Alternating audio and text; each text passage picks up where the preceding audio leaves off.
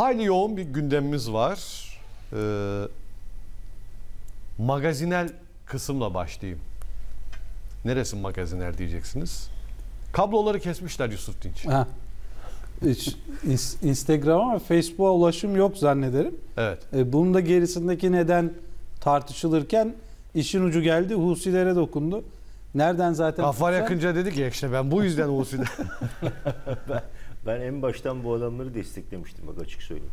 O zaman bütün kanallarda konuşuldu. Burada da bütün arkadaşlar genelde ya hep ezber ezber demeyeyim de genel bilinen şey işte bunlar İran'ın şeyidir işte vekilidir falan. Ben dedim ki yok hayır bunların ajandası var. Bak ajanda çıkıyor işte. Gemiyi batırdılar. Ama ben yine e, İngiliz gemisi battı. ben yine farklı düşünüyorum. İngiliz gemisi battı mı?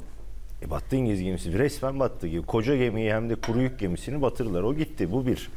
Elleri dert görmesin. Hiç, hiç de şikayet etmem var ya. Kabloyu da kesmişler. E, bunlar Keşke bu hiber, in- Bu internetin Fiber- kablosu da buradan mı geçiyor? Geçtiği bir yer e, var mı? fiber optik kablo hatlarını gösteriyor. Bütün interneti kessinler var ya. Atanıza rağmen sizin. 11 Eylül Az tatil yapsın millet. yeter. 11 Eylül saldırısı gerçekleştiğinde e, konunun terör ayağı göz ardı edilerek tırnak içerisinde terör ayağı tabi göz ardı edilerek e, sevinilmişti. Hani Amerika büyük şeytan. Amerika emperyalist bir ülke. Ha seni de vururlar üzerinden bir hikaye görmüştük. Bir parçasıydık ucundan kö- köşesinden yani. Söz konusu Amerika olunca. Sonra baktık ki Amerika kendi kendisine yapmış. Hikaye başkaymış. Evet. Her şeyin başı 11 Eylül. Şimdi Yemen'le ne ilgisi var bunların? Ee, temkin e, sadece benimki. Yok yok o bu dediğiniz şekilde bakarsak O- o öyle değil. bakarsak Hamas'ta o zaman Hamas'ta İsrail'e hizmet ettiğe çıkarız yani olur mu? Yemen bir devlet abi işte adamlar bağımsız bir devlet olmaya, olmuşlar. Şimdi bağımsızlıklarının gereği Bak, pis geleni yer- geçeni vuruyorlar. Pis Helal olsun. yerler pis yerlerden sıkıştırıyorsun. Yok işte tamam biz de biliyoruz biz ne oldu. Öyle İşimiz bu bizim. Hayır, sen de sen denedin önce. İşimiz bu yani. Kabloyu kesmişler. Ellerine sağlık. Ama bu şey internetin kablosu nereden geçiyor ya? Tamam. Ekvatordan mı geçiyor hocam? Nereden geçiyor? Dağınık işte Onu da bir Bu bulsak. internet nerede? internet nerede? genellikle su altında döşeli fiber optik hatlar. Ee, dünyanın her yerindeki güzergahlarda bir taraftan da fiber optik hatlar gidiyor. Ee, Avrupa, Asya, Afrika hattı bu. Biz bu, e, konuyla ilgili kısmın hatlarını gösteriyor. İşte boğazlardan e, geçiyor. Yani benim anlamadığım şey e, Yusuf Dinç bu hattı kesince niye bir tek Facebook'la Evet orası ilginç. Serverlarının nerede olduğuna bağlı. Eğer gerçekse yani bu Instagram ve Facebook'taki kesintinin nedeni Husilerin ben bakmadım fiber optik- Instagram'a girebiliyor musun? E, hala girilemiyormuş herhalde. Gir- Bakalım. girilmiyor değil mi arkadaşlar? Ömer meraklıdır o Instagram, Facebook işlerine. Ömer giriliyor mu? E giriliyor diyor Ömer.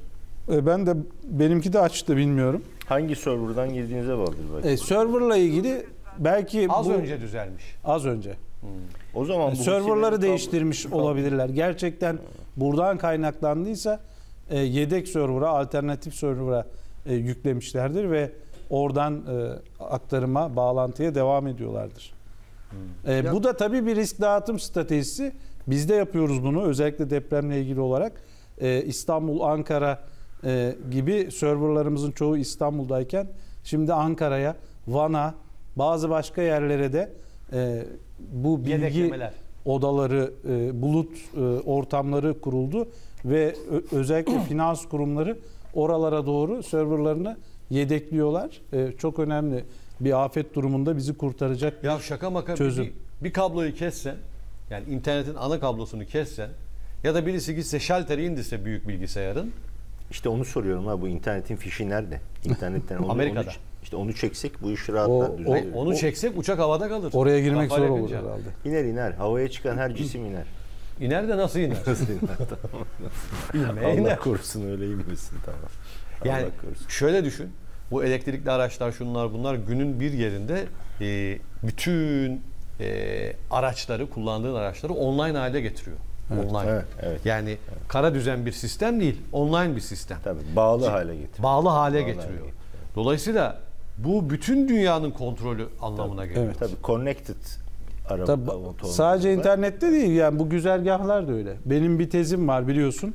Dünyadaki bütün kritik boğazların bir süre için Müslümanlarda kaldığını işte Süveyş, Babül Mendeb, Malaka ve bunlara çökmeye hazırlandıklarını değerlendiriyorum. E, bu da bir e, argüman, bir bahane olarak kullanılabilir tabii. Babül Mendeb'de orayı uluslararası bir konsorsiyumun kontrol etmesi gibi gündemler gelebilir. Çünkü önümüzdeki yıllar çok defa tekrarladım ama e, yine söylemekte fayda var. Stratejik otonomileri çok konuşacağımız yıllar olacak ve e, bu boğazlar özellikle stratejik otonomi olmaya aday yerlerdir. Evet. Eyvallah. Tabii şöyle bir durum var. Şimdi bu e, yani Yusuf Hoca ilginç bir bahis açtı. Birincisi tabii mesela kablo kesildi mi? Kesildiyse Husiler mi kesti onu bilmiyoruz. Şimdi doğal gaz hattını biliyorsunuz. E, kuzeydeki doğal gaz hattını neredeyse kesinleşti. Yani Amerikalıların kendilerinin patlattığı. Ama ihaleyi bir de Rusya'ya çıkarmaya çalışıyorlar. Evet. Ortada kaldı. Suç ortada kaldı. Yani burada olay biraz şeye dönüyor. Yani emperyalistler bir yere çökmek istiyorsa çok fazla da bahaneye ihtiyaçları yok. Kendi kendilerine de yapıyorlar. İşte o 11 Eylül'de olduğu gibi.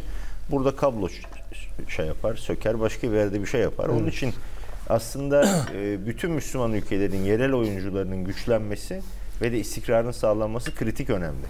Yani Yusuf Hoca'nın açtığı bahisle gidiyorum. Eğer bu boğazlar bir risk unsuruysa, hani buralara biz ortak, hani nasıl biz Montreux'de o işi bozduk?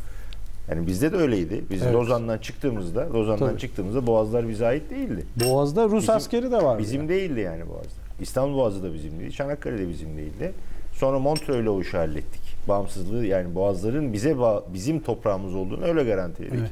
Karşılığında verdiğimiz şey de kimse kusura bakmasın artık açık konuşuyoruz yani. Ayasofya'yı müze yaptık yani. O zaman o iş öyleydi. O hikaye öyle gelişti Öyle yani. geçti. Montreux için olduğu hikayeler yani. Şimdi bu şey ve bu boğazlar konusunda yani boğazları ortak idare kurma çökme işi Batılıların iyi bildiği bir konu. Bunu bilirler. Bu işleri de önemserler. Şimdi burada bu Çok bunu önemserler. buraya getirirler mi? E, getirebilirler. O zaman yapılması gereken şey şu. Yemen'in toprak bütünlüğü ve istikrarı için çalışmak. Evet. Suudi Arabistan çok iyi bir hareket yaptı. Bakın hep yerden yere vurduğumuz Suudi Arabistan son bir ayda çok güzel hamleler yapıyor. Bu müttefik kuvvetlerine Yemen'i bombalamaları için hava sahasını kullanma izni vermedi. Geçemezsiniz benim hava, sahamdan. dedi. Ama emirlikler de aleyhine çalışıyor. O gidip bir e, özellikle Babül Mendeb'de ada işgal ediyor. İşte Suudi Arabistan burada iyi bir sınav verdi. Evet, Suudi yani doğru, Arabistan. doğru bir pozisyonda durdu Suudi Arabistan. Ki biliyorsunuz bu Hut- Huti mi, Husi mi neyse bu adamlarla kavga halindeydi. Savaşı olmasına rağmen. Tabii asıl kavgası Suudi Şimdi Arabistan. soğukkanlı davranıyor Suudi Arabistan. Diyor ki orada diyor ben bu eğer diyor bunlarla bunlarla intikam şeyine girişirsem Yemen'deki Hutilerle bunları işte ben ezeyim başına ezeyim diye ağzıma bir parmak bal çalacaklar. İngilizlere, Amerikalılara izin verirsem bu iş bana döner diyor. Onun farkında. Yani aslında bu şuurun yayılması lazım İslam coğrafyasında. Eyvallah. İstersen boğazlara bir bakalım hızlıca. Şu Hangi Yemen'le boğazlar? ilgili bir şey söyleyeyim mi ben isterseniz? B- Bakın şimdi Husiler demek Yemen demek değil. Onu bir koyalım ortaya. Yani Yemen ayrı bir ülke. Husiler onun içerisinde belli bölgeleri kontrol eden bir grup. Daha fazla video izlemek için kanalımıza abone olabilir, ilk izleyen olmak isterseniz bildirimleri açabilirsiniz.